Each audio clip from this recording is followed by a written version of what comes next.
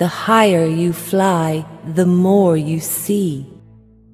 O abismo sempre será meu aliado.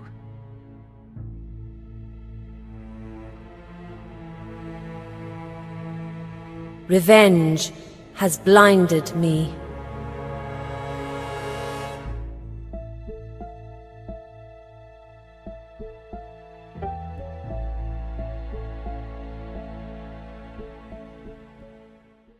A floresta Ascate é o lugar onde vive o povo Kroll, uma das raças mais antigas da Terra do Amanhecer.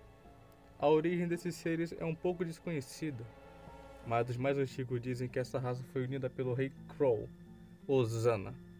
Sob a liderança do rei, eles aperfeiçoaram a arte da magia celestial.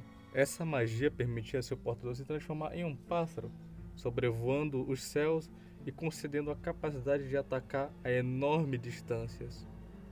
No entanto, somente aqueles que tiveram seu sangue despertado poderiam usar essa magia.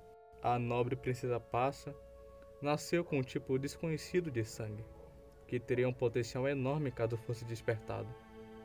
Mas por mais que tentassem, as pessoas de sua tribo não conseguiam despertar esse poder.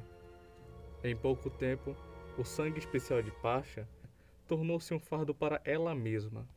Pessoas intencionadas de todo o país procuravam colhê-lo para seu próprio benefício.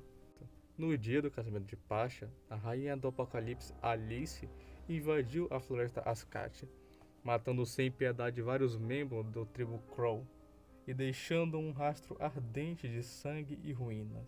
Em prantos e sem reação, no centro de toda aquela carnificina que a cercava, Pasha deixou cair a antiga coroa de Osana.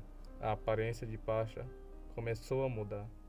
Ela sentiu um poder fervente por suas veias. O sangue de Pasha havia sido despertado. Os olhos de Pasha se nublaram. Um lado de seu cabelo ficou branco puro. E ela subiu ao céu para desencadear um ataque formidável de poder mágico, poderoso o suficiente para conduzir Alice para longe. Verren, o amor de sua vida, não suportava ver a sua noiva sofrer uma vida de cegueira sozinha e optou por acompanhá-la aonde quer que passa fosse, utilizando a sua própria mágica para se tornar permanentemente ligada a Pasha e permitindo que ela visse através de seus olhos. Pasha deseja que seu sangue nunca tenha sido despertado, ainda mais que sua casa não tenha sido destruída.